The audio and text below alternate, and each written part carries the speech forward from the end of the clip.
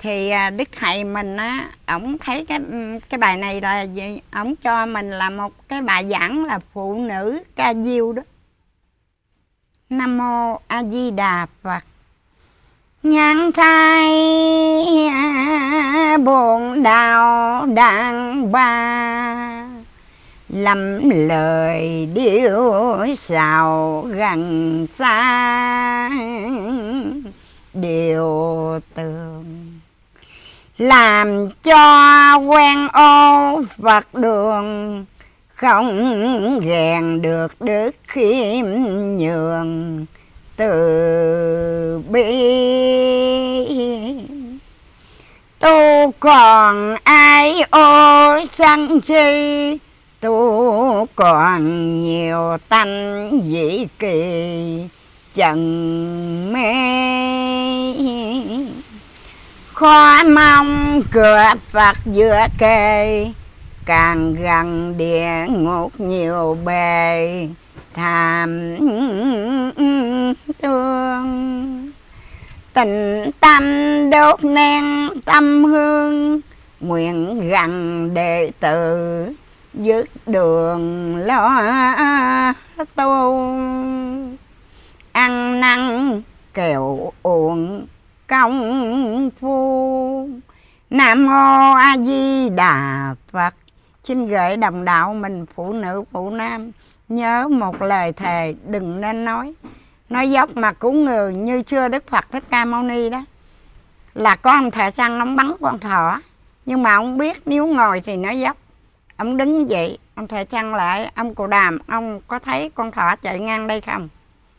Thì à, ông cụ đàm ông nói ông đức phật thích ca ông nói từ lúc ta đứng nãy giờ ta không thấy. Mà lúc ông ngồi là ông Dạ. thấy nam mô a di đà phật. Xin cảm ơn đệ.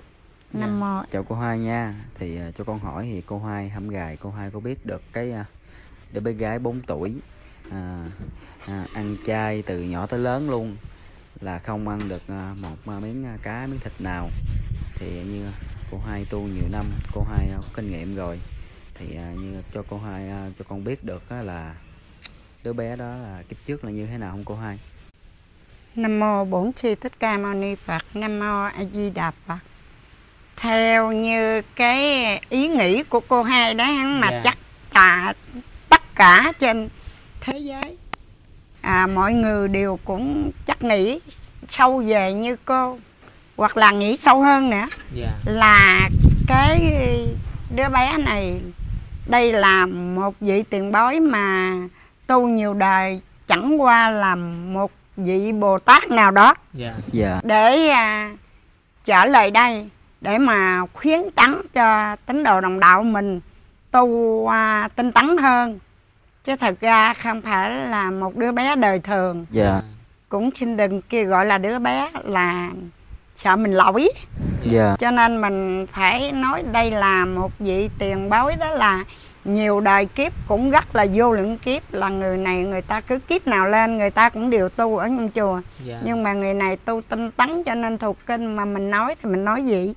Chứ đây là trong mấy chục vị bồ tát vô lượng bồ tát đây là một người này là một bồ tát hoặc là một đức gì trở lại đó. Dạ bởi vì như đức thầy mình hồi đó đó là ổng dân năm sắc lệnh đó. Là sắc lệnh đức ngọc đế rồi sắc lệnh đức phật thích ca rồi sắc lệnh a di đà rồi sắc lệnh à, quan âm nam hải. Dạ. Rồi thứ chót là sắc lệnh của đức phật thầy tây an là năm sắc lệnh dạ. Thì à, cái vị này cũng không ngoài gì trong mấy cái vị đó cho nên tất cả trong nước ngoài nước thấy cái vị người bé nhỏ này mới lên mà nổi tu hành như vậy mà ăn uống rất là đơn giản. Dạ. Đó là mình thấy như vậy mình gắng tinh tấn mà Chỉ mình là tu sâu. ăn, à, cơm trắng với lại chuối thôi. Đúng rồi Dạ. còn uống nước thì Dạ. uống nước chuối không? Cho nên à, mình thấy đó bởi vậy à, như cậu hai ông có nói như đức thầy mình nói là cư trần bắt nhiễm là người thánh. Lẫn tục đừng mê là chứng bực thiền. Dạ. Ha còn ông hai ông cũng nói đó. Không cần niệm một lời nào cả nhưng trong tâm tỏ dạ từ bi chẳng ai chẳng nhiễm giặc gì cũng là được Phật hộ trì ngày đêm.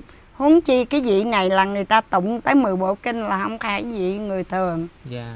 Cho nên đây là trong các vị Bồ Tát. Đây là cũng là Bồ Tát nữa. Dạ. Chứ không phải là thứ thường. Cho nên à, mình á, đừng kêu bằng đứa bé. Đứa bé lỗi lắm. Mình hãy kêu là à, cái vị cái vị Bồ Tát này. Mình cũng là Bồ Tát. Dạ. Nhưng mà tại vì mình còn mê còn mê. mê trần dạ. nhiều quá. Cho nên mình chưa có được là Bồ Tát chứ. Đức Phật Đức Thầy mình cũng nói các chúng sanh đều có như ta.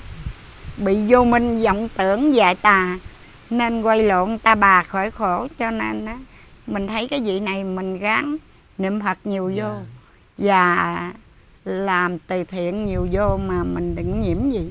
Đừng nói à, tôi trai không nổi là tôi không tu không phải. Mình đừng nhiễm gì hết trơn